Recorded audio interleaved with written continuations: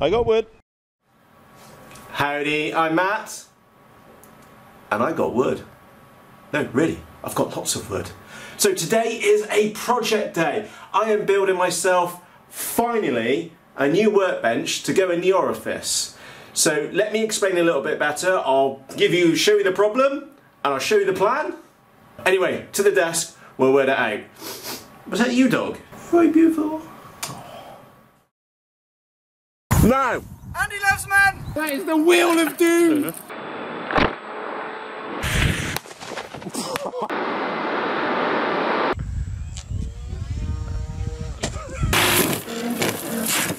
oh!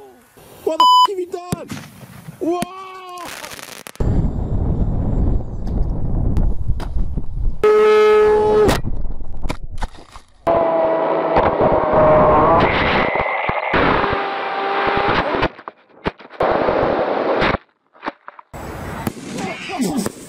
Get out! Don't, no, See, it's not gonna work. to see here. Okay, for me to explain, I need to show you. Let me clear up some mess. No, I need to show you the mess. I'll turn the light off and then let's go. In short, this, all of this, is my problem. What I would like is a nice presenting desk. I've got a nice presenting area, as I'm sure many of you have seen already. I've got a nice presenting desk. However, I would like somewhere to hide mm, all of that, but not that, because it's too cute. Hey Loons, you right beautiful? Hello? Uh, you got a little grumpy face? No, Grumpy, you're so beautiful, aren't you? This is Luna. She's my miniature schnauzer. And she's a vicious, vicious animal. Literally, she'll lick your face off if you don't look at her. Uh, you know, you get my own point. Anyway, back to the point. So the plan is I need a workbench here. So to me, explain that a little bit better. And there is a 3D printer hiding in there. There's a whole box of Depron in there. And I've got some models which I need to stash away underneath it and stuff. And I've got uh, some stuff in boxes which I'd like to use. Uh, and I also need to get my tools out and get them on the wall. So for me to explain this a little bit better, let me move to that desk and I'll straw and show you what I'm planning to do. And uh, then we're going to get it built. That's the plan. Whether that happens or not, nobody knows. Let's go. So this is the plan. In short, I've got a corner here with a windowsill. Uh, I've got a window here, another window over there as well. Uh, and what I'd like to do is to get a workbench in this area here. Uh, like so. Now I'm going to break it into, down into a couple of sections. They're really kind of straightforward. So, and you'll see me boxing this off because I've got one and two, well, two specific requirements. Uh, so on the left hand side is that I'm going to go for uh, an area where I've got boxes. Uh, you may have seen them just plastic tubs with lots of different components stored in them. Uh, and I'd like a double stacking shelf where I can get all of those parts in there. On the right hand side is that I've only got one real requ- requirement, which is that I would like a trap door. So just in there is a finger hole so I can stick my finger in it and lift the lid up or lift the workbench up and then just push all the rubbish down into the hole. So under this right hand side I would like a bin bag uh, in there so that all my rubbish I can just push off the desk uh, and it goes in the bin bag. I think that's probably going to be the biggest improvement over the desk which we're working on at the moment. On the left hand side, I you'll see me making out the frame. What I would also like on that side is this recessed, sorry, this, and also another lid, but this time bigger, so a much bigger lid, again with a finger hole in it. And what I would like to be able to do is stick my finger in the hole, lift up that section. Now, I don't want, I'm not going to bother a hinge, it's just a trapdoor is fine. And then because I'm using 3 by 2 it's going to be 3 inches deep uh, with a base in there, and it's like a hidden drawer. And I think that's going to be a really cool idea because I could have it as a soldering station, for example, or just somewhere where I can push a project off to one side and then put the lid down on it and it's done and it's dusted. Does that make sense? So that's the plan for the layout itself. Now, I will put uh, later on in a CNC project, I will put tools up on the wall and there's a few other things like I'd like to do. So for example, having a light box up here as well and a stand for the camera so it's pointing down so we can do future projects at this desk. But that, that's the plan. Now, it's going to be 2.4 metres wide, and you may be asking, well, that's quite exact, Matt. Why is that? Well, I got wood. yeah. anyway, so it's 2.4 metres wide. Uh, now, I'm going to go for 70 centimetres deep uh, for the actual work surface, and the reason for that is that the cutting board, which you can see here, is an A1 cutting board, and it's about 60 centimeters deep. I think I need to go and check. Anyway, 70. Uh, my plan is I'm going to go for. Going to get this correct. 70 centimeters deep, and now the really important one is height. And the reason why height for a workbench is really important is because it depends upon its purpose.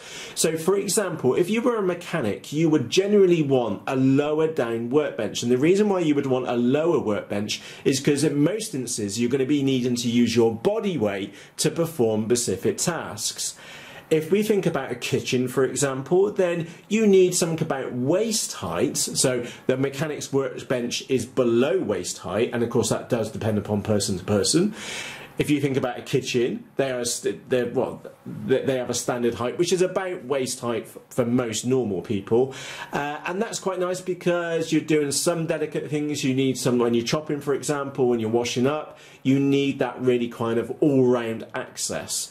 Whereas for me, I'm actually going to go for a one meter high desk. Now that's higher than normal, and the reason why I'm going higher than normal is because I, I, I'm not going to be using lots of body. I don't need a lot of body weight to do stuff on a, on this kind of workbench, uh, and having it higher allows you to do more delicate work. I hope that makes sense. So, the, remember, the easiest way to explain it is that if you need to put your body weight, it needs to be lower. If it's average, then you just choose the kitchen height, waist height, whatever waist height is for you.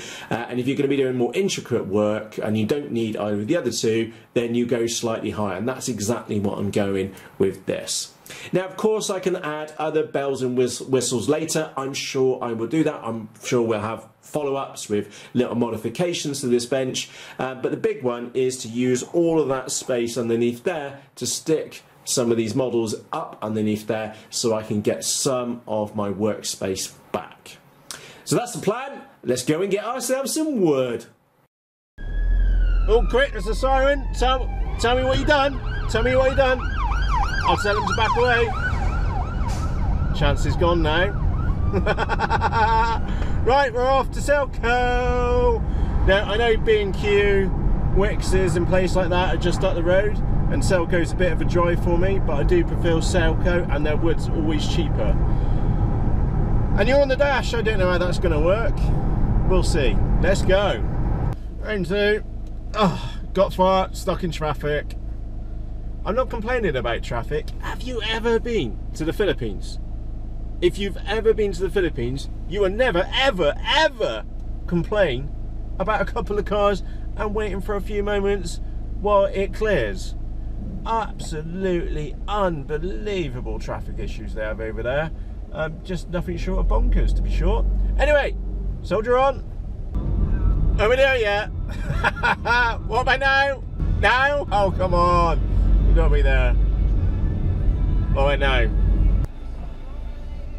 What about now? Ooh, MILF. Now? What about now? Freeway traffic lights. Oh. Not complaining, not as bad as the Philippines. Never as bad as the Philippines. Are we there yet? now? What about now? Now? Are we there yet? Come on! So gone the wrong way. Are we there yet? There yet? There yet? What about now? Now? Now? Let's go. Almost there. Are we there yet? Ooh, more traffic! My favourite! Yay, yay, yay, yay, yay! No. Are we there yet? Yes! Well, almost. Come on, move right away way and you shitty go. Yes, we are now here! Woohoo! Oh, let Mr. Van go. We're not there yet. He has got the biggest joint going I've ever seen. That is a massive whopping joint he had in his mouth. right, let's get ourselves parts up.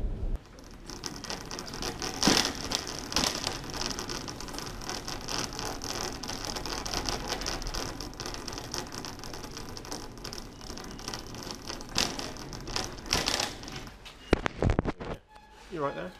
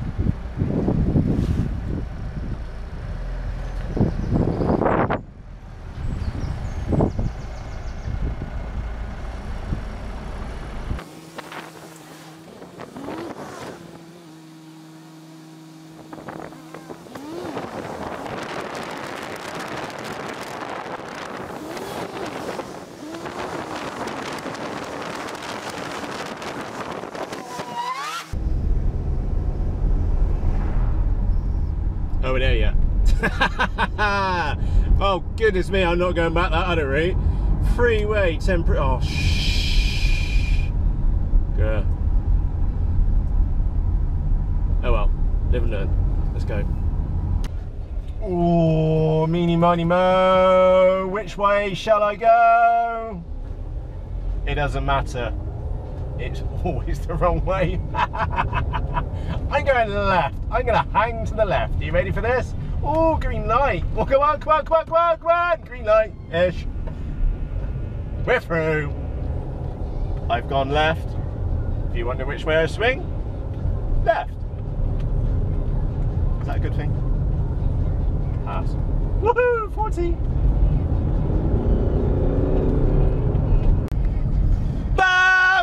Wrong side of the road! For those of you which don't know, in the UK we drive on the left hand side of the road, which is the correct side of the road. It's all you mad bastards who drive on the wrong side of the road. Imagine doing it here on this little road, you'd be, well, I'd be splattered if I was driving that lorry. Oh look, there's a wolf.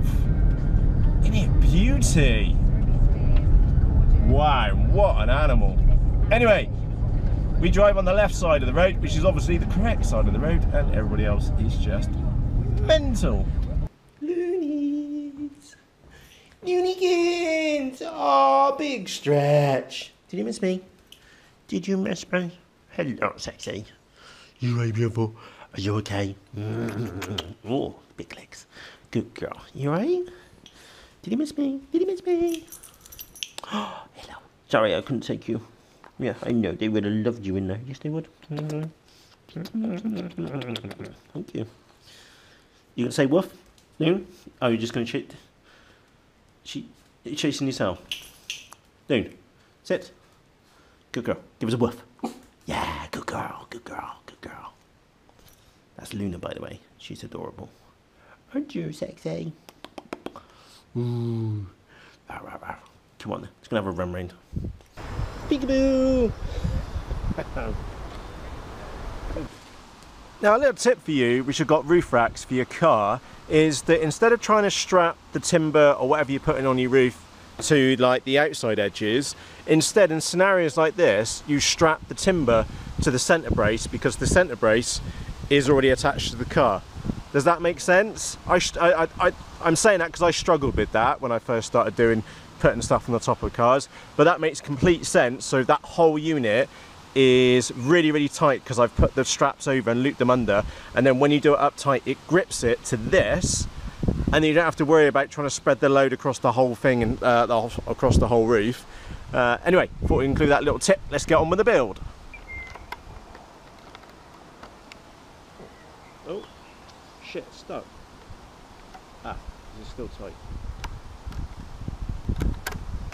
Uh, hello? Have you come undone? Uh, don't know about you, but I quite like my fingers. See what I mean? Hmm. Shall I wrap those up nicely? Or just do that and not tell and wait for the missus to do it?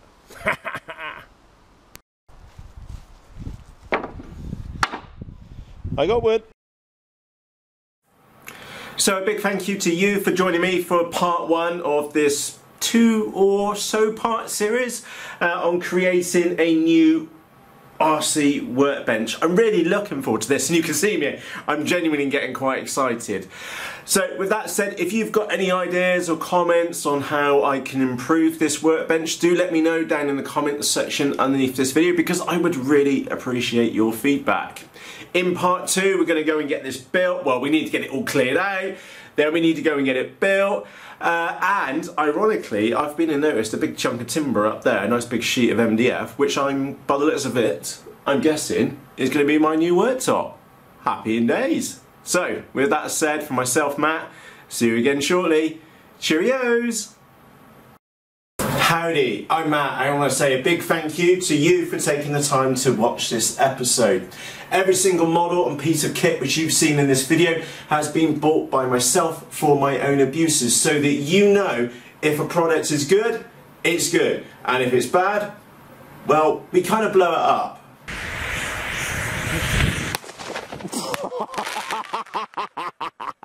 uh, shout for help now. Uh, if you're in the live version as well, um, hold on to your seats and kiss your ass goodbye.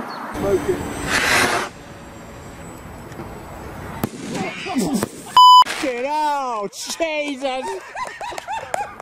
Safety first. Safety first. I do have my safety glasses. Whoa! What the f have you done? Whoa! Alan Check out the says. on the Barbie. Alan says Well, like. it's burning on the outside of it now. Look at it. That is the wheel of doom! Alan. Oh, Matthew, I think you should put that out now. So with that said, a big thank you to you for taking the time to watch this episode and I'll see you in the next one. If you're new here, don't forget to press the like button and also to hit the subscribe button and the little bell notification so that YouTube lets you know when the next episode is out. So with that said, for myself, Matt, cheerios!